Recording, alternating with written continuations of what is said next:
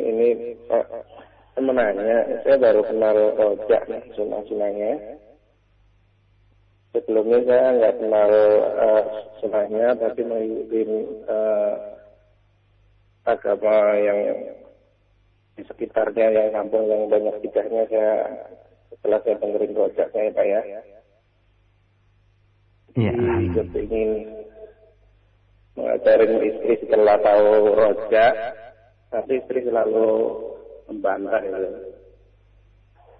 Uh, tolong dijelaskan istri itu mengerti gitu aja. Baik. Itu aja Pak Ustaz. Baik Pak wabarakatuh. Waalaikumsalam warahmatullahi wabarakatuh. Kembalikan Ustaz ya. Iya.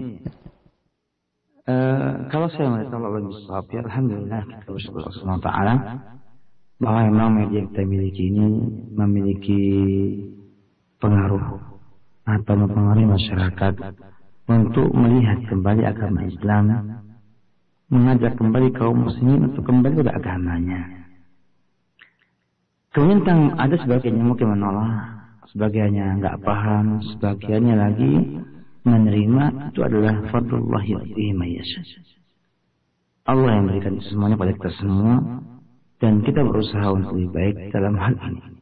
Karena jalan memandang Quran bahwa ini satu di media-media yang mungkin jadikan sebagai sarana untuk kita kepada Allah SWT.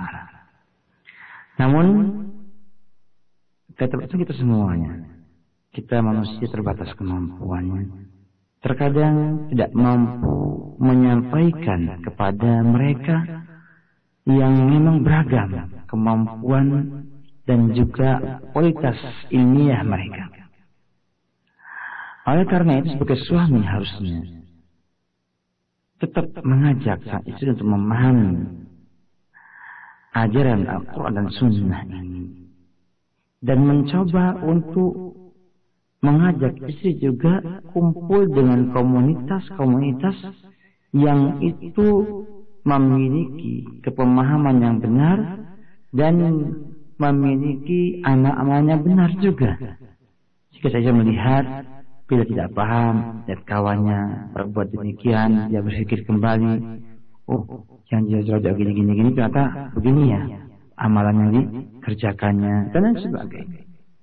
Karena memang orang manusia yang tidak pernah mendapatkan siraman rohani bersifat Quran dan Sunnah, ya, yang bersifat ilmiah, biasanya akan berat menerima untuk pertama kalinya.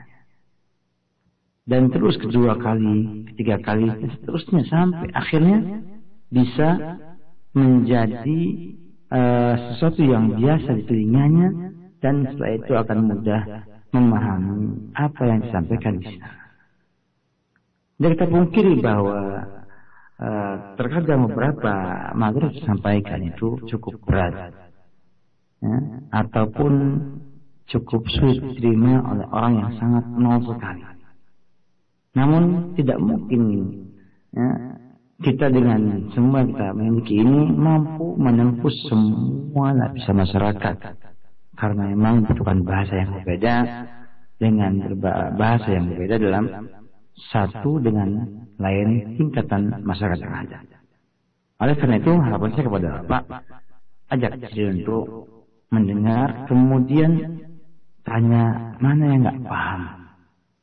Kemudian ditulis dan bila ada kemudian tanya aja seperti ini atau mungkin juga ziarah ya, langsung ke studio Radio Roja ya, tanyakan apa yang menjadi ketidakpahaman istri dari isi ceramah yang ada dalam radio Roja tersebut.